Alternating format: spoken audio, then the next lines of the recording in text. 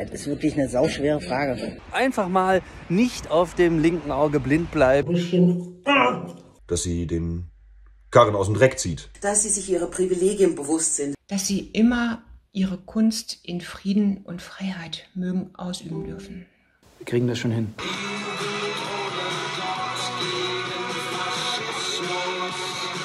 Aufräumen, aufräumen, aufräumen. Verpiss dich aus meinem Weg.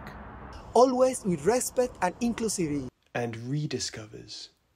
And rediscovers. Dass jede kommende Generation diesen Anfang anders interpretiert. Und ihre Ideen lebt. Um zu zeigen, wie es besser geht. Das Leben mit in die rechte Bahn kommen. Yeah, you cannot just um, live your life. Wir hinterlassen der nächsten Generation ein schweres Erbe. Smile. Dass wir die Werkzeuge finden. Möglichst breite linke Bündnisse zu bilden. Um Gleichberechtigung zu schaffen. Eine gute Harmonie. Mut. Humor. Und, und, und. Dass sie Lösungen für Probleme findet. Und sich nicht kleinkriegen lässt. Dass sie an sauberen Flüssen dicke, fette Bücher lesen wird. Eine Menge frischen Wind. Dass sie viel Freude und Spaß am Singen und Musizieren haben. As free as the birds. And they have Offenheit und Kreativität. Flache Hierarchien, einen künstlerischen Austausch. Spannende Produktion. Dass sie nicht zu angepisst ist, wenn sie sieht, was wir ihr hinterlassen haben. Lasst euch nicht unterkriegen. Dass es vielleicht leichter wird, erwachsen zu werden. Dass die nur glücklich sein sollten.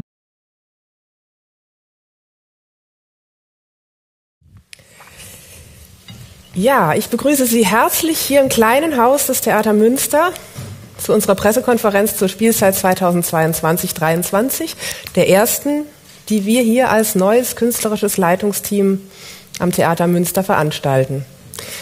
Wir, das sind heute das neue, der neue Schauspieldirektor Ramsi Al-Khalisi, da drüben, die zukünftige Tanzdirektorin und Chefchoreografin Lillian Stillwell, die zukünftige Leiterin des Jungen Theaters und der Abteilung Kunst und Vermittlung in Grün. In Münster natürlich längstens bekannt Generalmusikdirektor Gulo Berg, Verwaltungsdirektorin Rita Feldmann, ebenso bestens bekannt, und ich, Katharina Kost-Hollmein, immer noch neue Generalintendantin und zukünftige Leiterin des Musiktheaters. Zweierlei hat uns neu in Münster gleich beeindruckt. Die Erzählung von der Stadt Münster als dem Ort der Verhandlungen, die den westfälischen Frieden hervorgebracht haben, und der mutige Theaterbau, schräg auf die Kreuzung gestellt, der mit der Ruine im Hof Geschichte, Kriegsgeschichte und moderne Architektur miteinander verbindet. Geschichte und Kriegsgeschichte. Mehr als 370 Jahre ist es her, dass 1648 ein großer europäischer Krieg, der Dreißigjährige Krieg, durch Verhandlungen beendet wurde in Münster und Osnabrück. Der Leidensdruck war damals groß genug geworden, um auf allen Seiten Verhandlungsbereitschaft zu erzeugen. Und die Geduld reichte aus, die jahrelangen Verhandlungen bis zu einem Ergebnis durchzuhalten. Das war nicht perfekt, es war an manchen Stellen brüchig, aber es schaffte Frieden. Es war eine Basis für das Ende dieses heillosen Krieges. Bis heute eine der großen Leistungen der Diplomatie. Doch auch diese Erfahrung verhinderte nicht immer weitere Kriege. Den Siebenjährigen Krieg, die Napoleonischen Kriege, die Kolonialkriege. Ein Zeugnis des Zweiten Weltkriegs steht hier im Hof des Theaters, die Ruine des Romberghofes, eines Teil des Gebäudes Komplexes, zu dem das alte, dann von Bomben zerstörte Theater gehörte. Die Ruine wurde dann 1956 Teil der Konzeption des modernen Theaterbaus, des ersten im Nachkriegsdeutschland. Ein Leuchtturm der Theaterarchitektur damals und ein Signal für eine offene Begegnung der Kunst mit der Stadtgesellschaft. Beide Eindrücke zusammen, Krieg und dieses Gebäude, Krieg und Frieden, bestimmen die Haltung, mit der wir unsere künstlerische Konzeption für dieses Haus, für diese Stadt und die Region, das Münsterland in den nächsten fünf Jahren angehen möchten. Wir werden mit allen künstlerischen Sparten gemeinsam Verhandlungsfelder der Gesellschaft bestellen, in jeder Spielzeit ein neues. Wir werden Gegensätze einander gegenüberstellen und nach Übereinstimmungen fahnden. Wir werden Konflikte formulieren und nach Lösungen suchen. Wir werden uns an Spannungen freuen und Entspannung genießen. Das alles wollen wir zusammentun, mit allen Sparten im engen Austausch und zugleich so, dass jede Sparte ganz für sich stehen kann. Dabei ist uns wichtig wahrzunehmen, wie und wo wir das alles tun. Welche Auswirkungen hat unsere Arbeit auf die Menschen, die mit uns arbeiten, auf die Stadt, in der wir uns befinden, auf die Region, vielleicht auf die Welt? Wen beziehen wir ein? Wen lassen wir außen vor? Gelingt uns große Aufmerksamkeit für den Moment? Können wir auch nachhaltige Ergebnisse erzielen? Die Weltlage, in der wir dies tun, weist inzwischen bedrückend viele Analogien zu den Zeiten auf, an die wir uns erinnern. Wenn wir vom Schicksal so vieler Ukrainerinnen und Ukrainer hören, von Vertreibung und Tod auch mit uns verbundener Künstlerinnen und Künstler erfahren, fühlen wir uns umso mehr gefordert, unserer Arbeit mit größter Ernsthaftigkeit nachzugehen und unsere Sphäre einer weitgehend kritischen, freien, unabhängigen Kunst aufrechtzuerhalten, wie wir sie hier als selbstverständlich kennen, wie sie in der Welt aber alles andere als weit verbreitet ist. An unserer Besetzung hier bei der heutigen Pressekonferenz sehen Sie schon einen neuen Schwerpunkt, den wir in unserer Arbeit setzen werden. Ich begrüße hier heute die beiden Gebärdensprachdolmetscherinnen Kira Krümann-Stengel und Klaus Meinhold. Mit herzlichen Dank. Mit der Formel Theater Münster alles inklusiv haben wir uns hier ein ehrgeiziges künstlerisches und gesellschaftliches Ziel gesetzt. Wir denken, dass Theater und Musik alle Menschen angehen. Deshalb wollen wir unsere Kunstform mit vielen verschiedenen Menschen und für viele unterschiedliche Menschen betreiben. Oft braucht das eine besondere Art der Unterstützung. Wir können mit Hilfe des Förderprogramms Neue Wege des Kultursekretariats NRW neue Mittel in die Hand nehmen, dankenswerterweise, und auf unseren Bühnen sowie in den Zuschauersälen mehr Platz und Gelegenheit für Partizipation und Inklusion schaffen. Wir möchten Barrieren beseitigen, die zwischen Menschen mit und ohne Behinderungen und dem Theater stehen können. Dabei meinen wir physische Barrieren, mentale Barrieren, Wahrnehmungsbarrieren, aber natürlich auch weitere sprachliche, soziale, finanzielle. Inhaltlich werden wir uns in unserer ersten Spielzeit dem Verhandlungsfeld zwischen Jung und Alt widmen. Wir werden uns fragen, was wir uns von der nächsten Generation erhoffen, was sich eine nächste Generation von uns wünscht und was wir ihr schuldig sind. Auch was man sich von uns als einer neuen Generation Theaterleitung erhoffen mag. Gleich zu Beginn haben Sie schon einige der Antworten hören können, die zukünftige Mitglieder des Theater Münster auf die Frage, was erhoffst du dir für die nächste Generation gegeben haben. Generationenkonflikte, Generationenverträge, Streit und Versöhnung, Wachstum, Entwicklung, Verlust und Abschied und viele weitere Facetten dieses Themas werden uns in den verschiedenen Sparten und hoffentlich im Austausch mit unserem Publikum beschäftigen.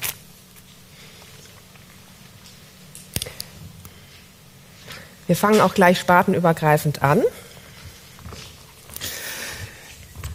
Ähm, wir werden das äh, Schauspiel auf der großen Bühne mit einem äh, großen Stoff ähm, eröffnen, der zu unserem Spielzeitthema passt, mit einem Urtext des Abendländischen Theaters mit der Orestie äh, von Aeschylos. Äh, die Orestie erzählt ja von den Bürden, die die eine Generation der Nachfolgenden aufbürdet. Ähm, sie untersucht die Verfasstheit von demokratischen Gemeinwesen, die Erfindung der Demokratie. Sie legt in die Waagschale Frauenmacht und Patriarchat. Und äh, sie fragt nicht zuletzt ähm, nach den moralischen Kosten von Kriegen, nach den Begründungen von Angriffskriegen. Wie begründet man einen Angriffskrieg?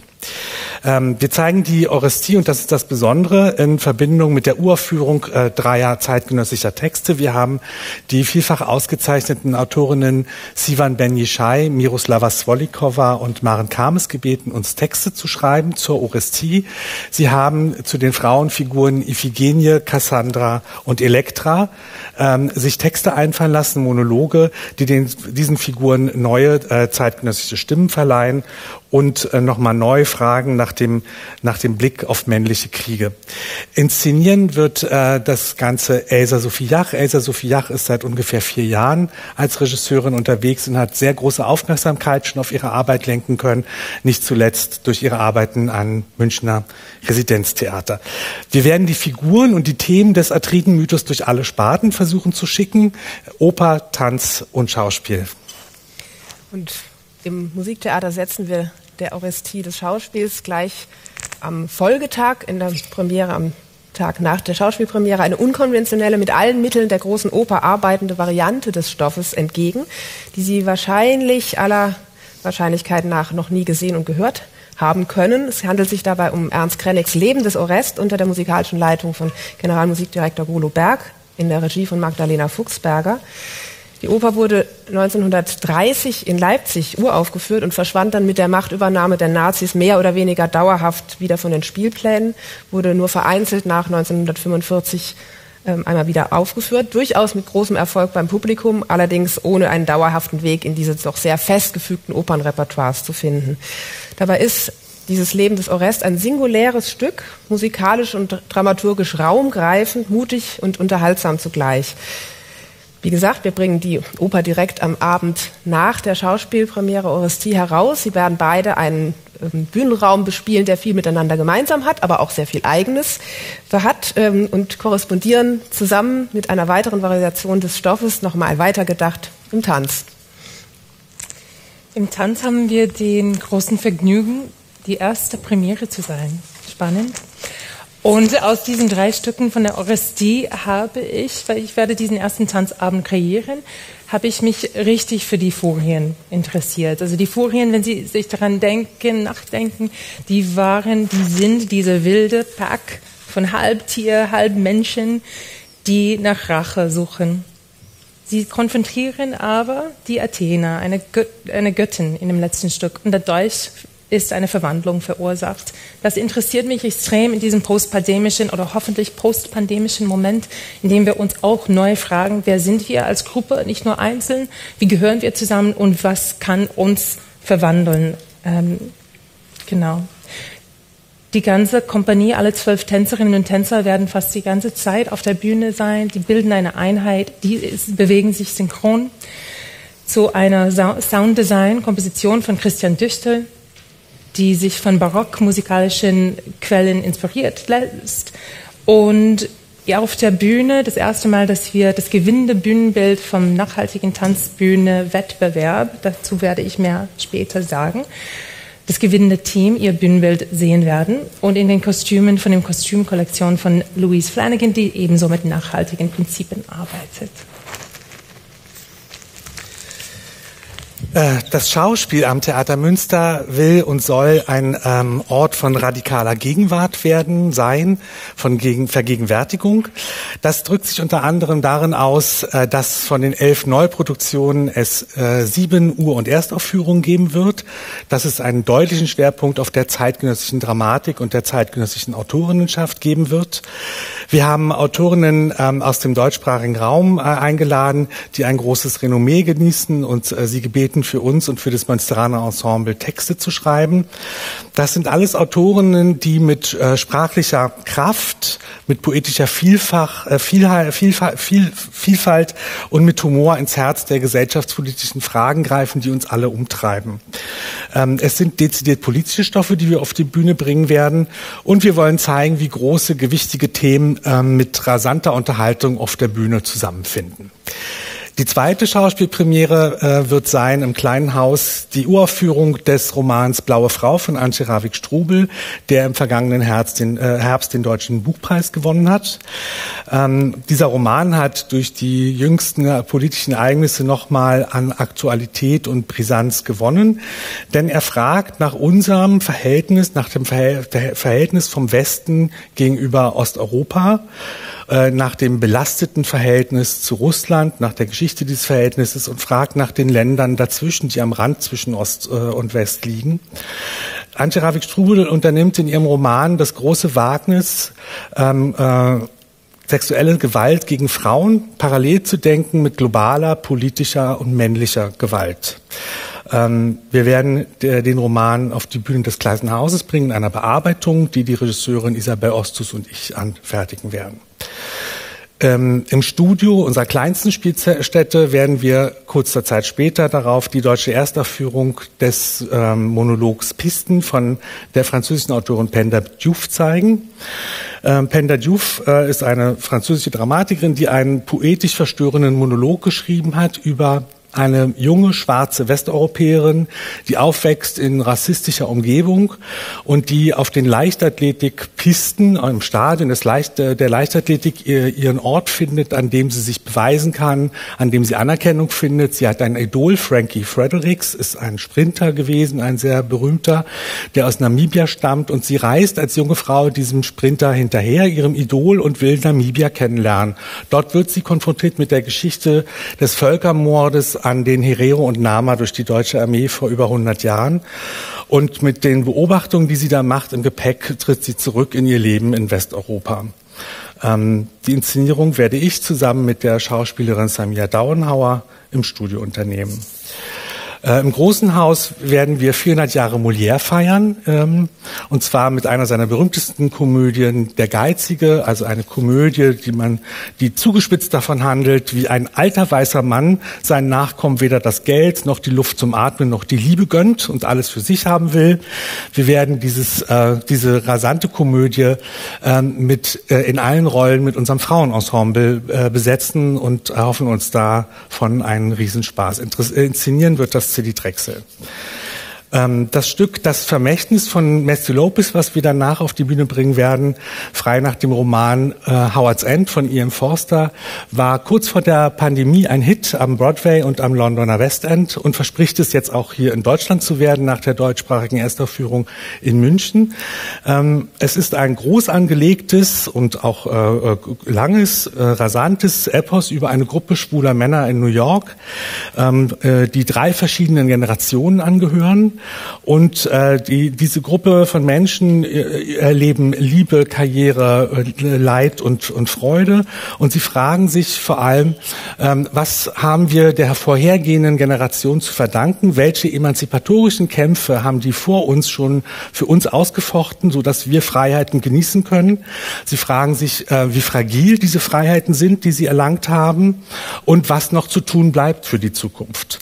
Ähm, das Stück verlangt ein großes äh, äh, Männerensemble und es gibt eine einzige Frauenrolle da drin, eine 72-jährige Figur, die am, ganz am Ende auftritt und einen sehr, sehr wichtigen Auftritt dort hat. Und ähm, diese Rolle hat erfreulicherweise die großartige Mechthild Grossmann äh, äh, unter, äh, übernommen und es wird also ein Wiedersehen mit Mechthild Grossmann hier auf der Bühne in Münster geben. Inszenieren wird das Sebastian Schuck das Stück. Das Stück hat, äh, besteht aus zwei abendfüllenden Teilen. Jeder Teil dauert ungefähr drei Stunden ähm, und äh, wir werden den an zwei aufeinanderfolgenden Abenden spielen und an den Wochenenden hintereinander als großes Event mit vielen Pausen und besonderem Catering-Angebot. Ähm, der junge Autor und Regisseur Emre Akal hat in unserem Auftrag ein Stück geschrieben mit dem Titel Nachkommen, ein lautes Schweigen. Das ist ein Stück, das sich mit dem äh, Metaverse beschäftigt und mit äh, und sich ausdenkt, dass das Metaverse Realität geworden ist ja, wir leben im Metaverse und er fragt in diesem Stück, was passiert eigentlich mit den Menschen, die sich keinen Zugang dazu leisten können, die entweder aus ökonomischen Gründen oder aus sonstigen Gründen keinen Zugang zum Metaverse finden. Was passiert mit so einer Gruppe, wenn das Ganze ähm, äh, Wirklichkeit geworden ist? Eine sehr interessante Frage, wie ich finde.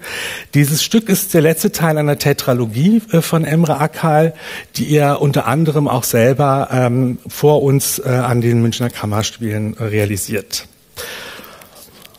Und wenn ich von der Zeit spreche, spreche ich von der Zeit, die schon nicht mehr ist, am Rande des Rollfelds. Ein sehr langer Titel und ein sehr schöner, melancholischer Titel, wie ich finde, den Thomas Köck für sein Stück erfunden hat. Der Titel unterscheidet sich ein wenig von dem, äh, der in dieser Drucklegung ist, die vor Ihnen liegt. Der Titel, der Arbeitstitel hat also weiter gearbeitet tatsächlich und ist äh, zu einem neuen Ergebnis gekommen. In dem Stück ähm, wird ein Chor aus der Zukunft in unsere Gegenwart geschickt mit der Frage, ähm, was ist eigentlich damals schiefgelaufen? Also was ist in unserer Gegenwart schiefgelaufen? Wieso haben wir die Katastrophe nicht verhindert? Äh, wo gab es die Möglichkeit dazu? Warum ist diese Möglichkeit nicht wahrgenommen worden? Thomas Köck ist einer, wie Sie wissen, äh, renommiert, der renommiertesten Autorinnen, die wir zurzeit in der deutschen Sprache haben fürs Theater. Er hat zweimal den Mülheimer Dramatikerpreis hintereinander gewonnen. Und er schreibt uns mit diesem Stück äh, für unser großes, spartenübergreifendes Projekt, ein Stück in der Mitte des Spiels, in der Spielzeit, ein spartenübergreifendes Projekt, wo Musiktheater, Schauspiel und Tanz miteinander zusammenwirken. Also Sie werden Schauspielerinnen, Sängerinnen, Tänzerinnen und das Orchester auf der Bühne sehen. Die Musik äh, komponiert der Musiker Ennig aus München.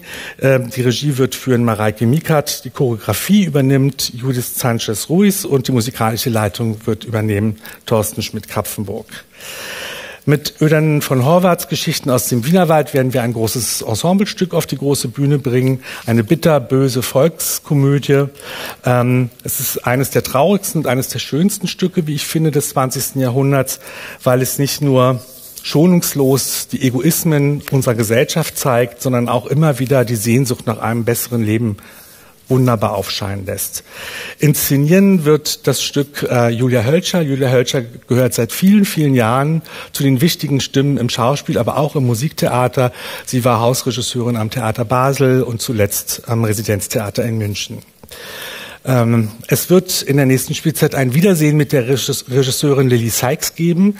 Ähm, Lily Sykes ist inzwischen auch an sehr großen Häusern tätig, im Schauspielhaus Hannover regelmäßig und äh, zuletzt am Burgtheater in Wien. Und sie wird mit Kleists Novelle Die Marquise von O ein kleines, feines, musikalisch-szenisches Experiment auf unsere Bühne des kleinen Hauses zaubern.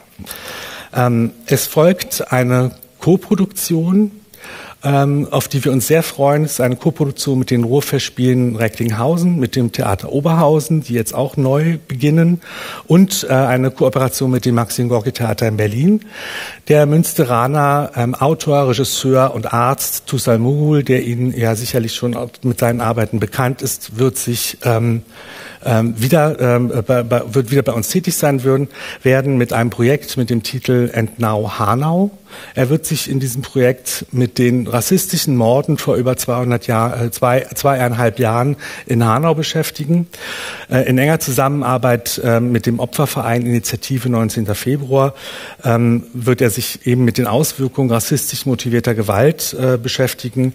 Er wird die Perspektive der Opfer zu Wort kommen lassen wollen. Er fragt nach den vielen Ungereimtheiten während und vor, vor und nach der Tat ähm, äh, und den anschließenden Ermittlungen. Ähm, und er will an einem öffentlichen Ort, den wir noch finden wollen in der Stadt Münster, einen Prozess stattfinden lassen, dem der Täter sich ja selbst entzogen hat.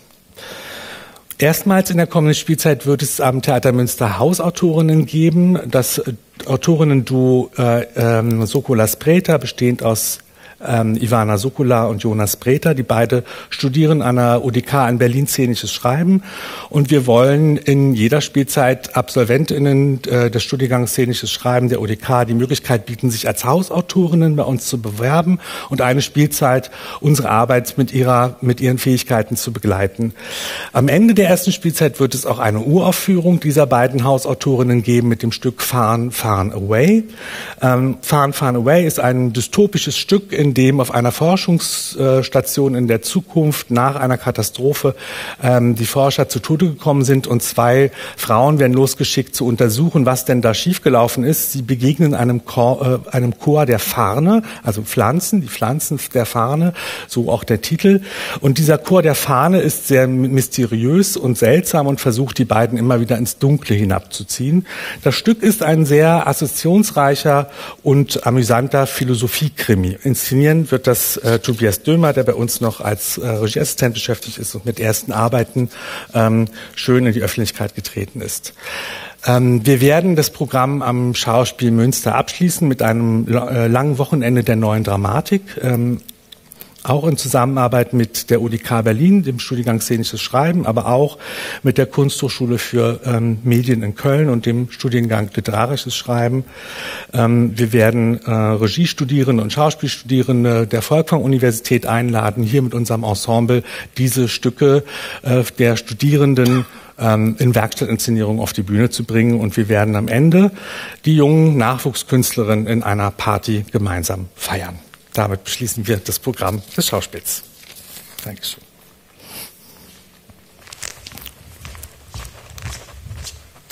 Hello, ladies and gentlemen. As you've already heard, English is my first language, nicht Deutsch. Ich würde sogar sagen, meine erste Sprache ist Englisch. Meine zweite, so wie Enrique, da im gefrorenen Video, wenn er nicht wunderschön tanzt, ist Tanz. Und meine dritte ist Deutsch. Und deswegen werde ich, äh, würde ich gerne mit einem Zitat aus dem Amerikanischen von der Schriftstellerin Eve Ensler beginnen über den Tanz. Tanz ist gefährlich, fröhlich, sexuell, heilig, störend, ansteckend und verstoßt gegen die Regeln. Tanz kann überall stattfinden, jederzeit, mit jedem und jeder. Und Tanz kostet nichts. Tanz verbindet uns. Als ich mich während der Pandemie auf diese Spielzeit vorbereitet habe, tanzt er? Nee, noch nicht. Ähm, äh, aber ich sage jetzt gleich ein Wort dazu. Ich habe auf eine Übersicht verzichtet. Das haben Sie in der Hand, das können Sie besser lesen. Die, die Sätze sind besser aufgebaut als meine wortliche Sätze. Aber ich habe darauf verzichtet, weil es ist mir wichtiger, dass meine Ansicht meine, äh, für die Spielzeit klar rüberkommen. Und die haben etwas mit dieser Verbindung, die Tanz schaffen kann, zu tun. Tanz verbindet uns mit uns selber, mit den Leuten, mit denen wir zu tun haben, mit Communities und auch mit den größeren Themen in der Welt. Und für mich ist eine von diesen großen Themen in der Welt im Moment, wie finden wir wieder zueinander? Wie bilden wir Gruppen? Wie verwandeln sich Gruppen, wie ich vorher erwähnt habe in meiner äh, Beschreibung von Furien und was können wir. Die Kollektive steht im Mittelpunkt, die Gemeinschaft ist unsere eigentliche Protagonistin in der ersten Spielzeit. Ich sprach schon vorher von Furien, unsere äh, erste Tanzpremiere, die ich selber choreografieren werde. Im Frühling werden wir mit dem Orchester arbeiten. Wir haben die vier Jahreszeiten als unseren musikalischen Stoff. Auf der einen Seite von Vivaldi, die bekannte Musik, auf der anderen Seite von John Cage. Weniger, bekannt, aber mit demselben Stoff, The Seasons. Kaya Sariaho, die finnische Komponistin, äh, eine Geige-Solo von ihr wird auch gespielt, um die musikalische Programm auszurunden. Und die Choreografie wer, wird von Paloma Munoz im ersten Teil, von mir im zweiten Teil und von James Woanfarm in einer Prolog sein. Im Sommer spielen wir im Club. Wir gehen draußen aus dem Theater und spielen ein Tanzstück, was dort mit Live-DJs spielt. Das heißt Afterlife und es geht auch um die Gemeinschaft. In diesem Fall, was für eine Rolle spielt die Gemeinschaft, wenn wir uns als Überlebenden fragen, wie wir weitergehen, nach einer sehr geliebten Person stirbt. Dieses Thema wird in einem Clubatmosphäre ähm, getanzt und wir haben Mitwirkung von der Munsteraner ganz klein, aber sehr feines, freies Tanzszene. Drei Verbindungen, äh, drei Verbindungen haben wir mit den anderen Sparten direkt in unsere Produktionen und das heißt, dass nicht nur sind wir künstlerisch verbunden, sondern auch in unseren Arbeitswegen. Wir kreuzen uns die Wegen im, nicht nur im Flur, sondern auch auf den Schreibtischen, wo wir Bühnenmodelle machen und Schritte entwickeln. Ich erwähne drei, drei, Stücke, die wirklich programmiert sind mit diesem Absicht, die Verbindungen zu stärken, erst in dieser ersten Spielzeit. Zuerst Silberlicht, ein Tanzabend mit Barockmusik, worüber Angela mehr, mehr, mehr erzählen wird. Später im Winter, worüber Remsi Alkalisi schon gesprochen hat, mit Tanz, Musik, Theater und Schauspiel. Das Stück von Thomas Köck mit Choreografin Judith Sanchez-Ruiz. Und zum Schluss mit dem Musiktheater, worüber Katharina Kostolmein erzählen wird, mit Musiktheater und Tanz mit der Choreografin Annie Hanauer. Ein paar Worte zum Ensemble und Team möchte ich, äh, möchte ich sagen. Also ich freue mich besonders auf Sie und es ist, ein, muss ich sagen, ein richtiges Privileg, ein Team zusammenstellen zu dürfen äh, und können ähm, in Zusammenarbeit mit meinen Kolleginnen und Kollegen. Wir haben zwölf Tänzerinnen und Tänzer, die eine Mischung sind aus diejenigen, die bei uns geblieben sind, die, die uns sozusagen mitkommen und die, die für uns allen ganz neu sind. Dazu haben wir Tanz Münster Studio gegründet. Das ist ein, ein Rahmen für Nachwuchstalent und wir haben zwei Stellen. Und im Team haben wir leicht umstrukturiert. Dramaturgie haben wir jetzt mit Gästen begleitet. Und neben mir auf der organisatorischen und strategischen Seite steht Christian Mayer, der zu uns aus Theater Regensburg kommt und kulturelles Management an LMU in München studierte. Auf meiner Seite choreografisch im Studio steht Stephanie Fischer, die als Probe- und Trainingsleiterin kommt, die ebenso ihr Masters abgeschlossen hat, in ihrem Fall in Teaching and Coaching Professional Dancers in Zurich. Und als letztes Keelan Whitmore, die wir alle kennen und lieben, der macht im Moment äh, mit uns im neuen Team eine Mischung aus Tanz in die vier Jahreszeiten und in der Leitung als Koordinator für Tanzvermittlung und Diversität eine besondere Rolle. Im neuen, in der neuen Vision und im neuen Team setzen wir einen besonderen Wert auf die Etablierung innovativeren oder innovativen Arbeits Ansätze, die den Tanz nach, langlebiger, nachhaltiger und direkter zugänglich machen. Was heißt das eigentlich? Das ist ein großer Satz und eine große Behauptung. Für uns setzen wir, wollen wir das am liebsten mit konkreten Formaten umsetzen. Auf der einen Seite mit Tanznah. Das ist ein neuer Format, was wir entwickelt haben, zusammen mit Kielen und viele Leute in Münster selber, mit denen wir in Kontakt gekommen sind, Institutionen, aber auch Menschen sowie Drag Queens und Kita-Leiterinnen und Museumsmenschen ähm, damit wir den Tanz und unsere Arbeit ähm, ein bisschen entmystifizieren und näher an unserem Publikum bringen und auch Leute zu uns einladen. Und auf der zweiten Seite die Nachhaltigkeit. Was kann Nachhaltigkeit in Tanzpraxis heißen? Das wollen wir herausfinden. Und unser erster Schritt war, einen Wettbewerb zu initiieren, um eine nachhaltige Tanzbühne äh, Design kreieren zu lassen. Wir haben ein Team, die als äh, Gewinnerinnen und Gewinner ähm, ausgewählt worden sind. Die kommen aus der Architektur. Die heißen Stella Sattler und Jonathan Brugman und ihr Bühnenbild wird für vier Tanzabende in über zwei Jahren zu sehen sein.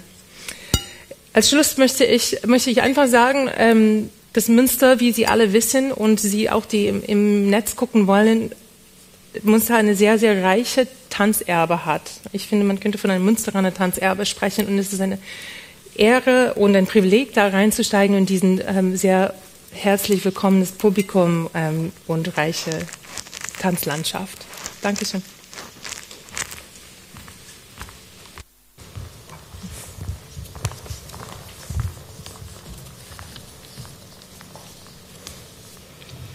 Theater für junges Publikum ist eine eigene Kunstform. Kinder und Jugendliche haben ein Recht auf diese eigene Kunstform, denn sie sind unser Publikum von heute, nicht von morgen. Eine spannende Frage im jungen Theater wird für uns in den nächsten Jahren sein, wer spricht hier eigentlich für wen? Wir werden uns deshalb viel mit Teilhabestrukturen für junges Publikum auseinandersetzen. Ein erster Schritt in diese Richtung ist das ab jetzt jährlich stattfindende Festival, das zu einem Ort und einer Plattform werden soll, die von Kindern und Jugendlichen für Kinder und Jugendliche gestaltet wird. Im Spielplan des Jungen Theaters sind alle performativen Kunstformen zu erleben. Mit fünf Produktionen am Theater Münster, darunter auch das Familienstück im Großen Haus und einer mobilen Musiktheaterproduktion, die auf Schulhöfen spielen kann, ist für jede Altersgruppe etwas dabei. Zwei Produktionen werden sich mit Themen hoher politischer Brisanz auseinandersetzen. Zum einen die Jugendtheaterproduktion 33 Bogen und ein Teehaus nach dem gleichnamigen autobiografischen Roman von Mianusz Zaeri Esfahani, in der es um Machtübernahme, Krieg und den Verlust von Heimat geht.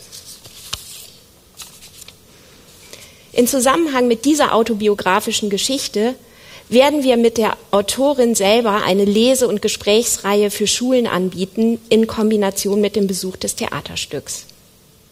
Zum anderen die mobile Musiktheaterproduktion Hier kommt keiner durch nach dem gleichnamigen Bilderbuch, in dem es um Willkür und Machtstrukturen geht. Ein buntes musikalisch-theatrales Spektakel über Freiheiten, Grenzen und die Dynamik von Macht, in dem es um die Frage geht, wer hat am Ende das Sagen. Die Komposition ist von Gordon Kampe und wird bei uns von MusikerInnen des Sinfonieorchester Münster gespielt. Regie und Text sind von Sebastian Bauer. Beide Produktionen sind Übernahmen vom Theater Bonn und Beethoven Orchester Bonn und mit Einladungen zum Westwind Festival ausgezeichnet worden. Mit der Regisseurin und Autorin Karina Eberle verbindet mich jetzt schon eine mehrjährige Zusammenarbeit. Sie wird Der Katze ist es ganz egal nach dem gleichnamigen Roman von Franz Orkhandel inszenieren. Eine berührende Geschichte über Freundschaft und die Kunst, sich seiner selbst in einer Welt, die Menschen in Frauen und Männer aufteilt, bewusst zu werden. Auf zwei künstlerische Teams freue ich mich besonders hier in Münster, weil sie eine ganz eigene ästhetische Handschrift mitbringen. Das Künstlerkollektiv Sputnik, das mit Live-Animationen zwischen Narration und Technik neue Welten auf der Bühne erschafft. Nils Voges, der hier auch die Regie führt, wird Scala als Auftragswerk für uns schreiben. Eine Geschichte, die uns in eine nahe Zukunft führt und sich mit unserem Spielzeitthema Generationen und dem Thema künstliche Intelligenz auseinandersetzt. Zum anderen Puppet Empire, ein Zusammenschluss von fünf Künstlern, Puppenspielern und Filmemachern, die die Ausstattung des diesjährigen Familienstücks auf der großen Bühne machen werden. Die deutsche Erstaufführung von Die unglaubliche Geschichte der Riesenbirne. Ein Bilderbuch, was in unzähligen Kinderzimmern zu finden ist. Ähm, die Fassung für uns wird Gertrud Pigor schreiben. Diese Abenteuergeschichte voll überschäumender Fantasie wird mit SchauspielerInnen, Live-MusikerInnen und Puppen auf der Bühne erzählt. Regie führt Nadine Schwitter. Ebenfalls zur Weihnachtszeit haben wir in Kooperation mit der Tanzsparte ein Tanztheaterstück für die Allerkleinsten, Silberlicht, eine Reise durch die Nacht mit Tanz und barocker Musik. Erwähnen möchte ich auch die interaktive Performance Rausch, die im Rahmen von Theater Münster alles inklusiv entstehen wird.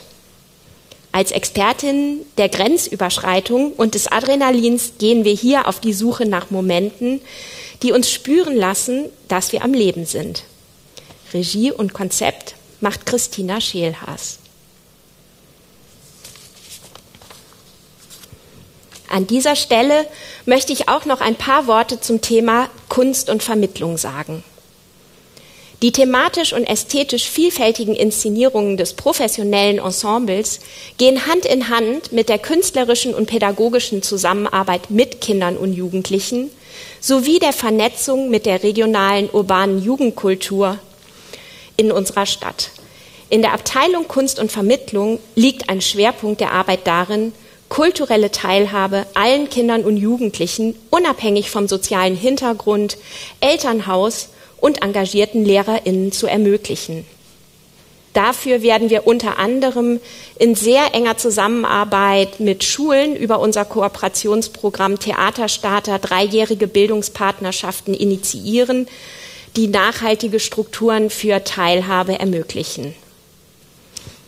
Ebenso werden wir im außerschulischen Bildungsbereich ein spartenübergreifendes, vielfältiges Angebot, das neben dem sehr bewährten Theater-Jugend-Orchester-Projekt weitere niedrigschwellige Möglichkeiten des aktiven künstlerischen Miteinanders verstetigen.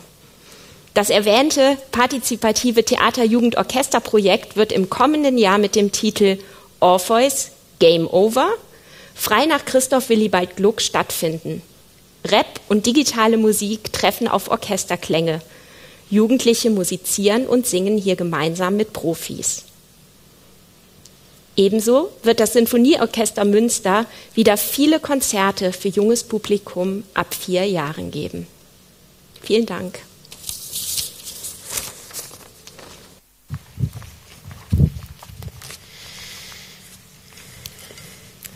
Die Oper entstand vor gut 400 Jahren im Zusammenhang mit großen Festlichkeiten einerseits und theoretischen Erwägungen über die Kunst andererseits.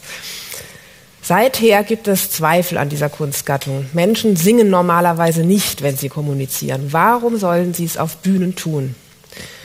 Bis heute haftet der Oper, dem Musiktheater diese kritische Frage nach der Wahrscheinlichkeit an, danach, wie es wirklich ist, wenn eine Figur am Ende ihres Lebens noch minutenlange Arien aus ihrem Innenleben singt, ist das nicht unrealistisch?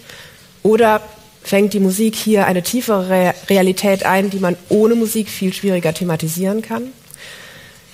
Ein Opernbesuch ist immer auch ein Fest, ein Erlebnis, das einen über sich, den Alltag, das Banale hinausträgt. In diesem Sinne werden wir auch in Münster das Musiktheater in den nächsten Jahren betreiben. Wir gehen dabei immer von Themen aus unserer realen Welt aus und wir bleiben nicht dort stehen, sondern lassen die Musik, den Text, die Szene, die Bewegung, den Raum und die Verbindung mit dem Live-Publikum im Saal wirken, sodass diese besonderen Momente einer anderen Emotionalität, einer anderen Wahrnehmung, einer vertieften Innerlichkeit einerseits und der großen, überbordenden Grenzüberschreitungen andererseits entstehen können.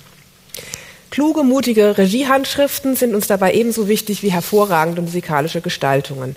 Wir starten dafür mit einem kleinen, feinen Ensemble, das für selten eingesetzte Stimmfächer durch Gäste ergänzt wird und bringen in Kooperation mit der Musikhochschule Münster neu ein Opernstudio für Nachwuchssängerinnen und Sänger auf den Weg. Konkret werden wir sieben Premieren herausbringen, drei Opern, ein Musical und einen Barock-Musiktheaterabend zusammen mit dem Tanz im Großen Haus, die bereits erwähnte spartenübergreifende Produktion mit Schauspiel und Tanz und eine Uraufführung im Kleinen Haus. In der Oper im engeren Sinne befassen wir uns in der ersten Spielzeithälfte, also bis zum Jahresende 22, mit der Orestie. Von der Eröffnung mit dem Leben des Orest hatte ich ja eingangs schon berichtet. Krennig, ein Wort hier noch zum Regie-Team. Magdalena Fuchsberger ist eine Regisseurin, die tief aus der Musik herkommt und zugleich alle Mittel der zeitgenössischen Theatersprache für die Oper nutzt. Nach intensiven Jahren des Lernens und Assistierens ist ihr jetzt eine beachtliche Karriere gelungen, die sie von kleineren und mittleren Theatern wie Rostock, Hagen oder Heidelberg gerade bis zur Wiener Staatsoper führt. Da sind wir stolz drauf. Dort wird sie in der nächsten Spielzeit neben Münster auch arbeiten. Gegen Ende des Jahres befassen wir uns dann noch einmal mit der Orestie und zwar in Form von Richard Strauss Oper Elektra. Für viele ist dieses Stück ja der Höhepunkt in Strauss Schaffen überhaupt. Eine extreme Musiksprache an der Schwelle von der Spätromantik zur modernen mit einer Stimm- und Orchesterbehandlung, die an Intensität nicht mehr zu überbieten ist. Inszenieren wird das Paul Georg Dittrich, vielfach ausgezeichnet, gleich zweimal für den renommierten Regiepreis der Faust nominiert. Ich bin sehr froh, dass uns hier jetzt endlich die Zusammenarbeit konkret tatsächlich gelingt und sehr dankbar, dass er in seinem sehr engen Terminkalender Zeit für uns hier in Münster findet. Er wird mit seinem Team und mit dem musikalischen Leiter der Produktion, GMD Golo Berg, das Werk und seinen Komponisten unter die Lupe nehmen und starke Bilder für dieses besondere Stück aus der deutschen Operngeschichte finden. Stellvertretend für unsere Gastsängerinnen und Sänger, die unser Ensemble in der nächsten Spielzeit bereichern werden, nenne ich hier einmal Rachel Nichols als Sängerin der Titelpartie. Wir freuen uns sehr auf sie und ihre Fähigkeit, hochdramatische Sopranpartien mit großer vokaler Eindringlichkeit und szenischer Wahrhaftigkeit gleichzeitig zu interpretieren. Zwischen diesen beiden großen Stücken, den beiden Orestie-Opern, widmen wir uns dem unterhaltenden Genre. Als zweite Musiktheaterpremiere im Großen Haus folgt ein unbekanntes Musical eines weltberühmten Musical-Komponisten, nämlich Aspects of Love von Andrew Lloyd Webber. Eine ebenso intime wie rasant erzählte Szenenfolge von Liebesgeschichten, die die Generationen untereinander verschränkt und verbindet.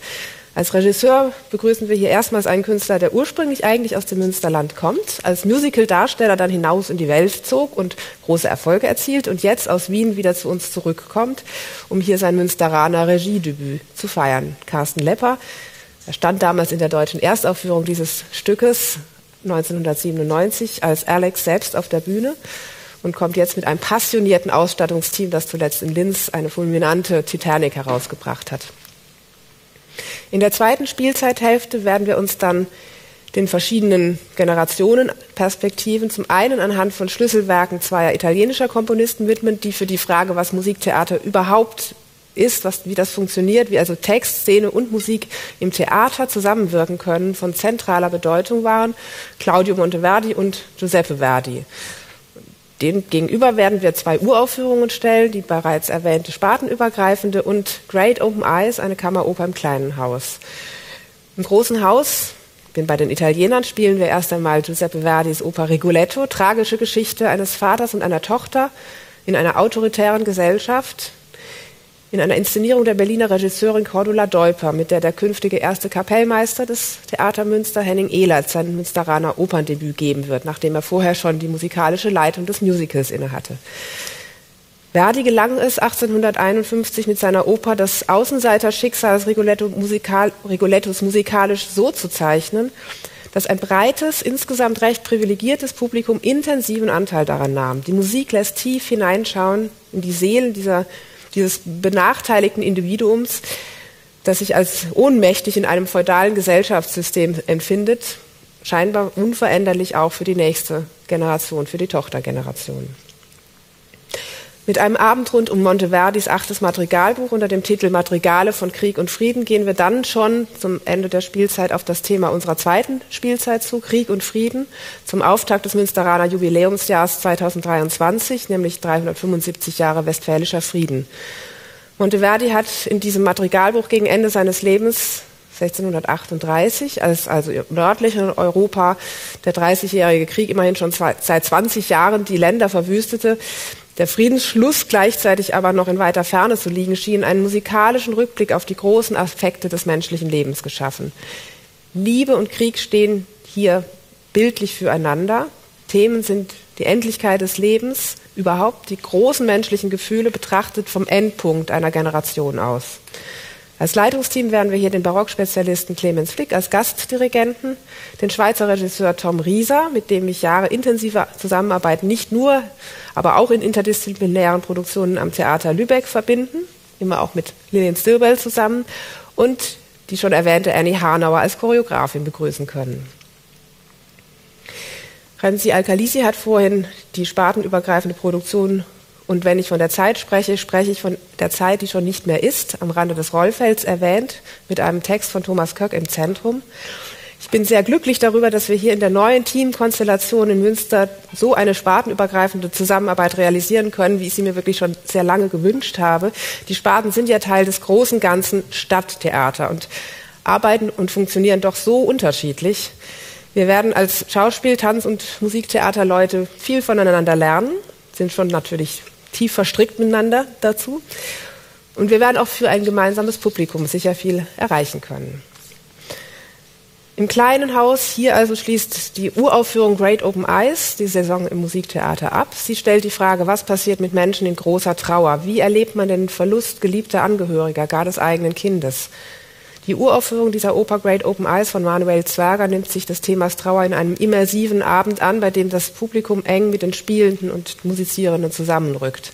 Initiiert wurde die Produktion vom Wiener Produktionsteam Civic Opera Creations rund um die Regisseurin Carmen C. Kruse und ihr Team.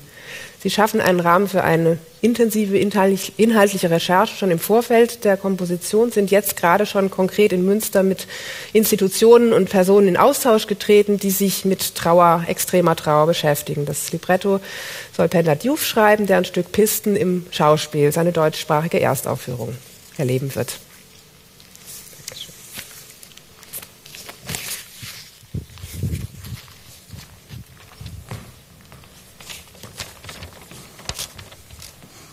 Guten Tag, meine Damen und Herren. Das Sinfonieorchester Münster und ich freuen uns außerordentlich auf ähm, die Arbeit mit dem neuen Team. Die verschiedenen Überschneidungen und Zusammenarbeiten über die Spartengrenzen hinweg sind ja schon erwähnt worden. Jetzt konzentriere ich mich natürlich auf den Konzertspielplan. Es ist der sechste Konzertspielplan, den ich hier in Münster vorstelle. Und ich konstatiere eingangs, ähm, dass die Aufgabe, einen stimmigen, gleichzeitig auch anspruchsvollen äh, Konzertspielplan, der aber auch viele Menschen interessiert, dass einen solchen Konzertspielplan aufzustellen tatsächlich eine anspruchsvollere Aufgabe geworden ist als in der Vergangenheit. An uns ähm, als Musikerinnen und Musiker werden nicht nur künstlerische Maßstäbe angelegt, sondern auch andere Erwartungshaltungen haben sich verändert und natürlich verändern sich auch im Laufe von Jahren Publikumsstrukturen. Das Schöne ist, dass wir an sehr vielen Grundlinien festhalten dürfen, die wir bisher schon verfolgt haben, weil sie erfolgreich waren und weil sie vielleicht auch die eine oder andere Entwicklung vorweggenommen haben. Natürlich als Sinfonieorchester ist es eine unserer Hauptaufgaben, ein klassisch romantisches Kernrepertoire zu pflegen, äh, es quasi ähm, immer wieder aus der Vitrine zu holen, neu aufzubereiten und zu interpretieren. Dass uns aber der frische Blick gelingt auf dieses Repertoire, ähm, ist selbstverständlich, scheint es, und es gelingt uns besser, indem wir es konterkarieren mit äh, Werken aus dem Heute und Jetzt, mit Werken, die wir der, dem Vergessen entreißen, weil wir glauben, dass sie aus verschiedenen Gründen zu Unrecht vergessen wurden. Und so gelingt es uns im Nebeneinander sehr unterschiedlicher äh, musikalischer Idiome, ähm, auch das neu erscheinen zu lassen, das uns eigentlich schon bekannt schien. Ich werde jetzt nicht alle Sinfoniekonzerte äh, erläutern. Sie haben sie ja hier vor sich und auch äh, in gedruckter Form. Ähm, aber ich darf auf einiges hinweisen, was im Laufe dieser Konzertspielzeit äh, passieren wird. Ganz besonders am Herzen liegt mir das erste Sinfoniekonzert, ähm, von dem ich ausdrücklich hoffe, dass es ein breites Publikum findet, obwohl die Namen der Komponisten und der Komponistin, die äh, wir auf dem Programm finden, wahrscheinlich vielen unbekannt sein werden. George Antai schrieb mit seiner Jazz-Symphonie eines der frühesten Werke für sinfonischen Jazz überhaupt. Ähm, Peter Oetwisch ist uns zwar in Münster bekannt, wir hatten ja auch die, äh, seine fantastische Opernproduktion äh, vor drei Jahren, aber ähm, ich bin mir natürlich dessen bewusst, dass Peter Oetwisch eine Musik schreibt, die nicht das ganz breite Publikum zu begeistern vermag. Trotzdem möchte ich alle einladen, auch gerade diejenigen, die älter sind und die glauben, sie würden Schwierigkeiten haben mit einem Oetwisch. Ich möchte sie einladen zu kommen, denn das Werk ist unterhaltsam, es ist spannend, es öffnet Horizonte, es verlangt dem Schlagzeuger weit mehr ab, als nur Schlagzeug zu spielen. Und ähm, mit Christoph Sietzen bin ich der festen Überzeugung, genau den richtigen Partner gefunden zu haben. Vor allem aber ähm, bitte ich alle zu kommen wegen der Sinfonie von Florence Price. Florence Price ist eine Komponistin der ersten Hälfte des 20. Jahrhunderts, die deswegen zu Unrecht vergessen wurde, weil sie Afroamerikanerin war und weil sie eine Frau war. Ähm, ihre vier Sinfonien hat man erst jetzt, lange nach ihrem Tod, wiederentdeckt. Äh, und alle vier sind ganz großartige Werke. Wir werden die erste spielen, eine ähm, berührende Mischung vielleicht aus Gershwin und Dvorak und trotzdem eine ganz individuelle Tonsprache. Ähm, und ich freue mich auf dieses Konzert und auf die erste Symphonie von Florence Price ganz besonders. Im, Im eingangs erwähnten Nebeneinander des Gewohnten und Ungewohnten war die Musik fremder Kulturen uns immer sehr wichtig. Wir haben das in den letzten Jahren häufig gespielt und ähm, ich glaube auch eine große Offenheit beim Publikum gefunden, vielleicht sogar auch entwickeln dürfen. Ähm, auch das wird uns über die Spielzeit hinweg begleiten, das Unbekannte. Aber natürlich werden wir auch äh, Jubiläen zu würdigen wissen, wie der 200. Geburtstag von César Franck oder der 150. von äh, Sergei Rachmaninov. Ähm, wir haben immer wieder Künstlerinnen und Künstler eingeladen, die durch ihre speziellen Biografien auch neue Perspektiven entwickeln konnten auf das klassisch-romantische Kernrepertoire. Auch das verfolgen wir weiter mit dem Dirigenten Nabil Shehata zum Beispiel, äh, mit Astrix Siranossian, äh, einer jungen und sehr, sehr talentierten Cellistin. Und Vergleichbares werden Sie im ganzen Verlauf der Spielzeit finden. Ich darf hinweisen auf das zweite Violinkonzert von Fasil Say. Sie erinnern sich vielleicht, wir haben vor einigen Jahren das erste Violinkonzert von ihm gespielt, übrigens mit sehr großem Erfolg hier. Ähm, damals habe ich den äh, Geiger Friedemann Eichhorn überreden können, sich dieses Werkes anzunehmen, es einzustudieren und für uns äh, zu lernen. In der Folge dann hat er Fasil Say kennengelernt, die beiden haben sich äh, befreundet und jetzt hat Fasil Say für ihn das zweite Violinkonzert geschrieben. Ähm, das wird jetzt gerade in diesen Tagen in Berlin im Konzerthaus uraufgeführt werden und dann werden wir eins der ersten Orchester sein, äh, die es danach spielen dürfen.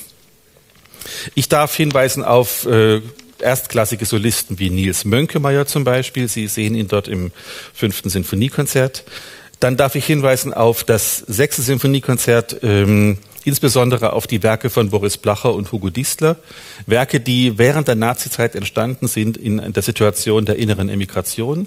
Ein ganz spezielles Thema, finde ich, dessen wir uns annehmen wollen äh, und schauen, wie komponierte ein Komponist zur Nazizeit, der wusste, dass seine Werke wahrscheinlich nicht aufgeführt werden können. Ähm, im siebten Sinfoniekonzert freue ich mich über alle Maßen, dass Anna Wenitskaya nochmal zu uns kommen wird. Ähm, Sie erinnern sich, mein Antrittskonzert hatte ich mit Anna gegeben. Und ähm, das war eine enorme Freude und große Genugtuung. Sie hat hinterher eine gigantische Weltkarriere gemacht, ist jetzt in den Berliner Philharmonikern unterwegs und vergleichbaren Orchestern. Und es ist überhaupt keine Selbstverständlichkeit, dass sie zu uns kommt. Also ich bin da wirklich sehr, sehr stolz und auch froh. Ähm, dann haben wir die Tage der Barockmusik und ein Sinfoniekonzert, das im Rahmen dieser Tage der Barockmusik stattfinden wird.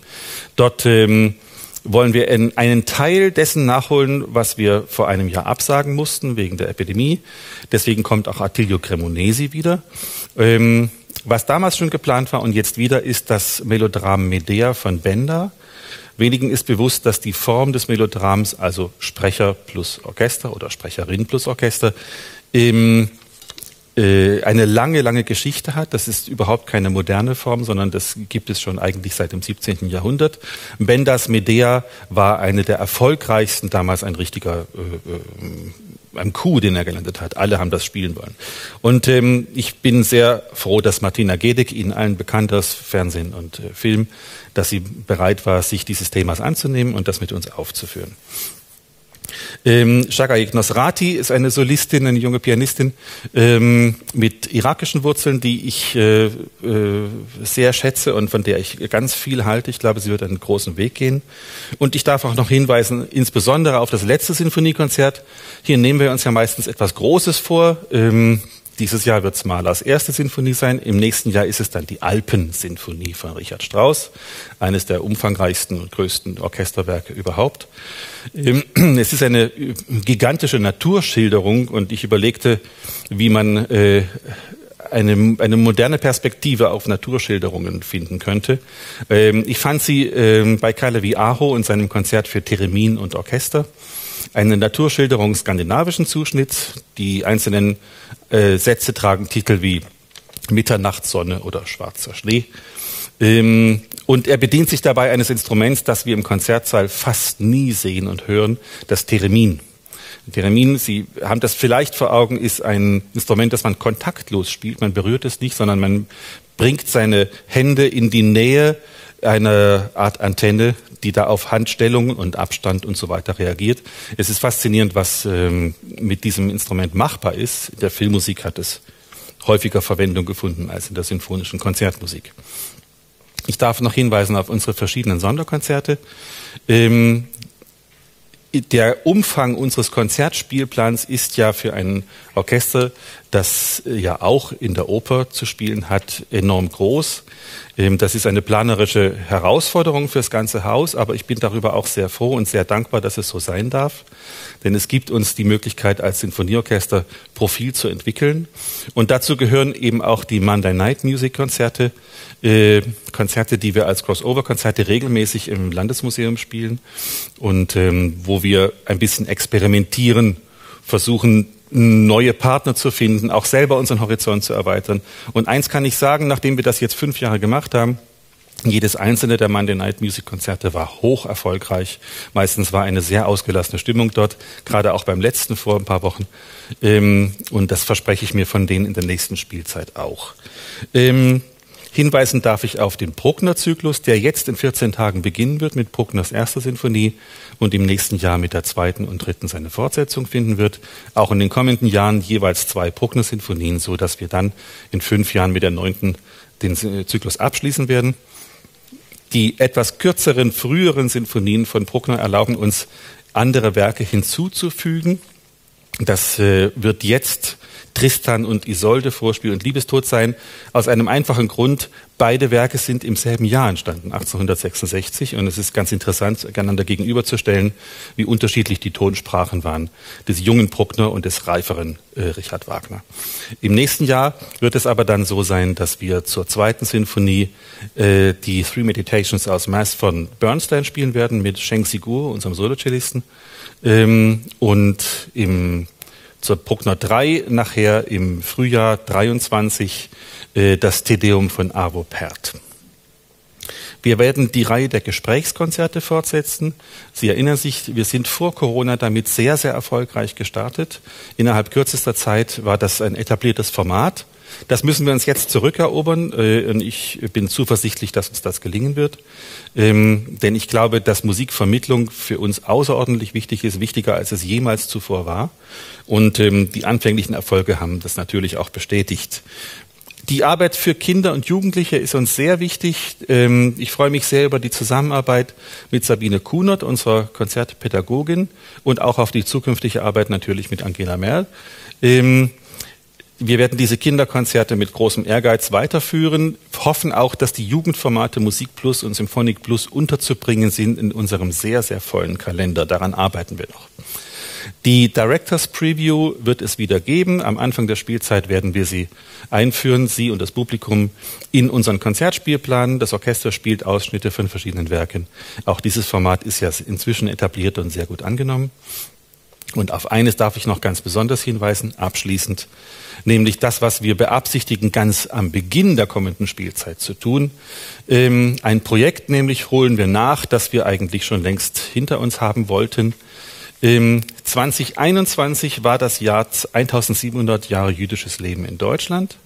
Aus diesem Anlass hatte ich damals ein Projekt entworfen, gemeinsam mit dem Chor der Katholischen Universität in Lublin, einer unserer Partnerstadt in Polen, und dem äh, Israel Symphony Orchestra in unserer anderen Partnerstadt in Rishon-LeZion, gemeinsam Mahlers Auferstehungssinfonie zu spielen. Auch das fiel der Corona-Epidemie zum Opfer. Ähm, und wir haben den gesamten organisatorischen Aufwand und auch nebenbei die Suche nach Geld nochmal von vorne angefangen, mit dem Ziel, das jetzt doch noch zu schaffen. Und ähm, im Moment sieht es ganz gut aus. Es ist immer die Frage, was Corona uns erlaubt und was nicht. Aber ähm, wir beabsichtigen also, dieses Projekt am Beginn der neuen Spielzeit nachzuholen. Wir werden in Münster spielen, ähm, auch in Rishon LeZion und auch in Tel Aviv. Das Konzert in Lublin, das Sie geplant haben, können wir im Moment nicht äh, planen, weil Lublin überrannt ist von ukrainischen Flüchtlingen und ganz andere Augen, äh, die ganz andere Konzentration im Moment hat, als so ein Konzert vorzubereiten. Der Chor der Katholischen Universität wird aber dabei sein und zu uns kommen. Auf das Projekt freue ich mich sehr. Es äh, findet in Kooperation mit sehr vielen wertvollen Partnern statt, auch der NRW-Landesvertretung in Tel Aviv. Und deswegen äh, sehe ich dem mit großer Vorfreude entgegen. Vielen Dank.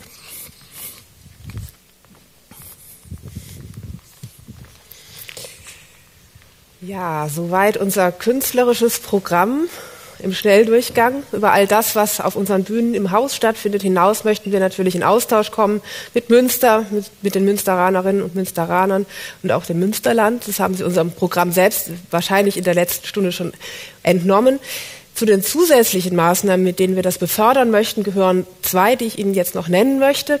Das eine ist, wir werden verteilt über die Spielzeit bisweilen sogenannte Open House Phasen veranstalten, in denen das Foyer auch tagsüber einmal geöffnet sein wird und zu verschiedenen Angeboten einladen, damit das Theater sukzessive immer stärker zum Ort der Begegnung auch jenseits des Vorstellungsformats wird. Da haben wir noch große Ziele. Mal schauen, wie weit wir da kommen. Außerdem werden wir in jeder Spielzeit besonders auf einen Stadtteil außerhalb der Innenstadt Münsters äh, uns konzentrieren, mit dem wir stärker zusammenarbeiten möchten. Das wird 2022, 2023 der Stadtteil Körde sein, bei, in dem ja auch das Begegnungszentrum Meerwiese liegt, mit dem das Theater eine besonders enge Beziehung äh, pflegt aber auch über dieses, äh, diese Mehrwiese hinaus werden wir dort Partner finden. Die Produktion Jubiläum, die Sie vorhin in der Musiktheaterübersicht gesehen haben, das ist ein Fest mit Musik für Jung, Mittel und Alt. Aus dem neuen inklusiven Schwerpunkt wird hier stattfinden. Wir werden beim Theater Jugendorchesterprojekt hier Partner einbeziehen und Tanz Münster wird mit der mobilen Serie Patchwork in Körle sichtbar sein. All dieses künstlerische Programm ist natürlich nicht ohne eine solide Basis zu denken. Hier möchte ich an dieser Stelle als neues Team ausdrücklich äh, Rita Feldmann, der Verwaltungsdirektorin des Theaters Münster, danken für die kollegiale Aufnahme, die sie uns bereitet hat. Sie hat nun noch abschließend Informationen aus dem Bereich der Finanzen, des Abowesens und vielleicht noch mehr. Dankeschön.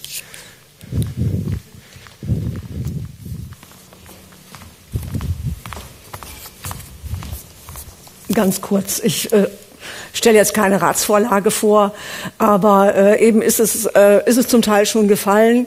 Äh, das Publikum, wir äh, wollen und müssen natürlich äh, unser Publikum, unsere Abonnenten ähm, zurückgewinnen. Äh, jetzt natürlich mit diesem äh, doch äh, sehr, äh, auch du aus meiner Sicht auch sehr anspruchsvollen äh, Spiel- und Konzertplan. Ich äh, bin mir sicher, dass uns das in dieser äh, Gänze gelingt. Äh, die Stadt Münster hat also bereits im letzten Jahr quasi die Grundlage gelegt. Ähm, der Managementkontrakt, äh, die Finanzformel hier fürs Theater Münster für fünf Spielzeiten heißt also bis äh, zur Spielzeit 2026, 27 ist beschlossen worden äh, so dass äh, wir auch weiterhin also wirklich von dieser soliden äh, Basis auch wirklich immer mit auch mit dem einen Punkt, dass äh, zum Beispiel alle Tarifsteigerungen, egal in welchem Tarifvertrag von der Stadt Münster eben zu 100 Prozent übernommen werden. Da sind wir als Theater Münster nach wie vor, also in Nordrhein-Westfalen, äh, doch äh, zählen wir mit zu den zwei Ausnahmen. Und äh, ja, das also zu den äh, äh, mehr oder weniger zu den Finanzen. Äh, die Abonnenten werden wir äh, zurückgewinnen, äh, wollen wir zurückgewinnen. Wir konnten den Abonnenten in den letzten zwei Spielzeiten ja aufgrund der Pandemie äh, kein Angebot machen.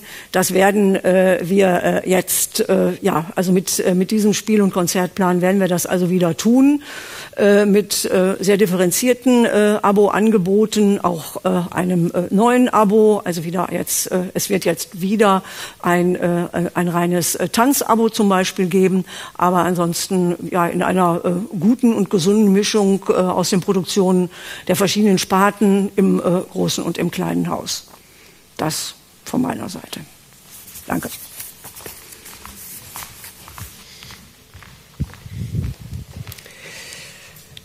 Dann danken wir alle sehr für Ihre Aufmerksamkeit. Von den Zuschauerinnen und Zuschauern im Stream verabschieden wir uns an dieser Stelle und alle diejenigen, die im Saal sind, dürfen uns gleich noch Fragen stellen. Herzlichen Dank.